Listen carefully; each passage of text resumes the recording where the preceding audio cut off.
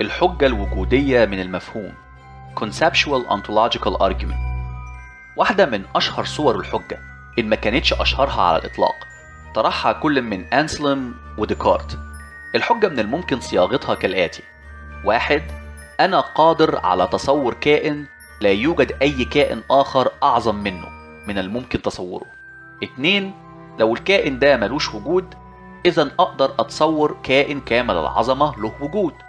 ثلاثة أنا غير قادر على تصور كائن أعظم وأقدر من الكائن كامل العظمة اللي تصورته أولا. أربعة إذا لابد إن الكائن كامل العظمة الله له وجود. الحجة ببساطة بتطلب مننا تصور الله كائن كامل القدرة والكمال. وبتفترض إن غالبنا هيكون قادر على صنع التصور العقلي ده. والفكرة الضمنية هنا إن حتى الناس اللي غير مؤمنة بوجود الله مش هيقروا بوجود الله لكنهم قادرين على تخيل وجوده في عقلهم. الفرضية التانية بتعتمد على نفس الفكرة من الحجة من التعريف وهي إن شيء له وجود أفضل وأكمل من شيء ملوش وجود. إذا تصور كائن كامل العظمة له وجود أفضل من تصور كائن كامل العظمة ملوش وجود. ولو أصبحنا قادرين على تصور كائن أكثر عظمة من الكائن الأول اللي تصورناه إذا الكائن ده مش هو الأكثر عظمة وأصبح في تناقض. يعني لو قلنا برج خليفة في دبي أطول من أطول برج في العالم الجملة دي فيها تناقض منطقي. لأن بما إن برج خليفة أطول من أطول برج في العالم إذا برج خليفة أطول برج في العالم. ومن هنا بنستنتج إن الكائن كامل العظمة الله له وجود. ببساطة لو الكائن كامل العظمة ملوش وجود إذا مش هيكون أعظم كائن ممكن من الممكن تصوره لأن زي ما قلنا قبل كده الوجود جزء من الكمال. أحد الردود الأولى على الحجة شككت في صحة المعطى الأول وهو قدرة الفرد على تصور كائن كامل العظمة. لو كنت فعلا قادر على تصور كائن العظمة اسأل نفسك يا ترى حجمه قد إيه؟ طيب لونه؟ شكله؟ أو إيه المادة اللي بتكونه؟ أو إيه هو وصفه؟ النقد ده بيعتمد على فكرة سيكولوجية مهمة وهي إن التصور أو الإدراك العقلي البشري مرتبط بتكوين خيالي أو حقيقي عقلي.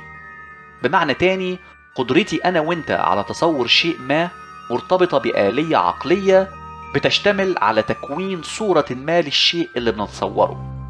والنقد بيضرب المدرسة الدينية بشكل عام في منطقة حساسة جدا وهي إن غالب المؤمنين ما كانش كلهم غير قادرين على إدراك أو تصور الكائن كامل العظمة ده. ما يعرفوش مواصفاته شكله أو حتى نوع مادته. خليني أقرب لك الفكرة أكتر. تخيل إني بقولك إن في كائن أسطوري أو خيالي اسمه البطراق. يا ترى إيه هيكون أول سؤال ليك عن الكائن ده؟ بالظبط. شكله إيه البطراق ده؟ وغالبا ردي هيكون ده كائن عملاق له خمس أرجل وقرنين وديل أحمر طويل وبياكل الأطفال الرضع. ردي على سؤالك إداك وصف يمكن الآلية العقلية عندك من رسم تصور ما لكائن البطراق الخرافي. دلوقتي تخيل بقى إني بقولك إن في كائن خيالي أسطوري اسمه الفرطاق ولما هتسألني شكله إيه ردي هيكون كائن في كل مكان كامل القدرة الخير والمعرفة. بكل تأكيد أنا اديتك معلومات عن الكائن ده. لكن السؤال كان شكله إيه؟ أنت بتسأل عن المواصفات اللي تمكن الآلية العقلية عندك من رسم تصور للكائن. أنا أديتك خواص لكنها غير كافية لرسم تصور ما لشكل الكائن ده. وبناء على المعلومات دي أنت مشوش وغير قادر على تصور صورة الفرطاق في عقلك. النقد التاني هيركز على فكرة إن الوجود أفضل من العدم. وشفنا قبل كده النقد اللي وجه للفكرة دي الحجة من التعريف. لكن النقد اللي هطرحه دلوقتي مختلف.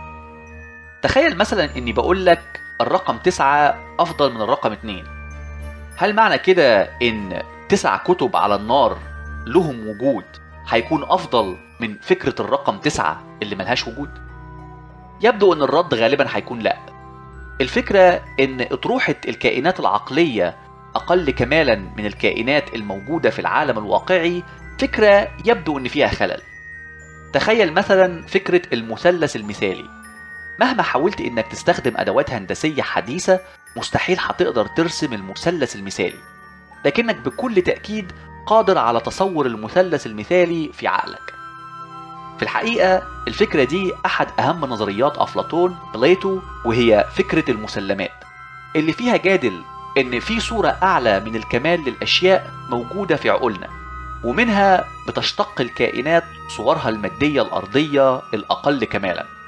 مسلمة الجمال وصورة الوردة الجميلة في الطبيعة مثال على فكرة أفلاطون. ارجع لحلقة كهف أفلاطون لو عاوز تعرف أكتر عن نظرية المسلمات. على أي حال الفكرة الجوهرية هنا إن مش دايما الكائنات اللي ملهاش وجود أقل كمالا من الكائنات الموجودة. لأن يبدو إننا أحيانا قادرين على تصور كائنات ملهاش وجود لكنها أكثر كمالا من الكائنات الموجودة. لكن النقد الأخير والأهم للجدلية قائم على فكرة مهمة وهي الالتزام الوجودي ontological commitment الناتج عن الفرضية الأولى. فكر في جملة أحمد بيعتقد في كائن العنقاء. الجملة دي ما بتفترضش أي نوع من الالتزام الوجودي لكائن العنقاء. بمعنى إننا من الممكن نعتقد في صحة الجملة بدون الادعاء إن كائن العنقاء له وجود. دلوقتي فكر في جملة أحمد بيفكر في كائن العنقاء. الجملة دي بتفرض علينا التزام وجودي. من غير الممكن إننا نقول إن الجملة دي صحيحة بدون ادعاء إن في نوع من الوجود لكائن العنقاء. الجملة الأولى بتدينا القدرة على الإلغاء gives cancellation لالتزامنا الوجودي بالعنقاء. أما الجملة التانية ما بتديناش القدرة على الإلغاء give no cancellation لالتزامنا الوجودي بالعنقاء. دلوقتي لو قلنا إن سين من الناس بيعتقد في وجود الله الجملة دي بتدي قدرة على إلغاء الالتزام الوجودي. لكن لو استنتجنا بعد كده من الجملة إن الله له وجود ده خطأ منطقي بناء على قواعد منطق النية intentional logic. هنناقش قواعد منطق النية في المستقبل في حلقات سلسلة المنطق. لكن هحاول أبسط لك الفكرة حاليا. مثلا لو قلنا واحد أحمد بيعتقد إن نجم الليل هو كوكب فينوس. اتنين نجم الصباح هو نفسه نجم الليل. تلاتة إذا أحمد بيعتقد إن نجم الصباح هو كوكب فينوس.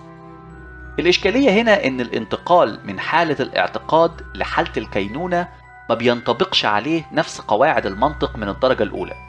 لأن الجملة الأولى جملة نية أو اعتقاد. أما الجملة التانية جملة إقرار.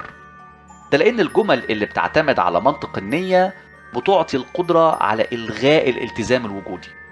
أما جمل المنطق من الدرجة الأولى لا تعطي القدرة على إلغاء الالتزام الوجودي. فأصبح الانتقال من حالة القدرة على إلغاء الالتزام الوجودي لحالة عدم القدرة على إلغاء الالتزام الوجودي غير متسق منطقيا.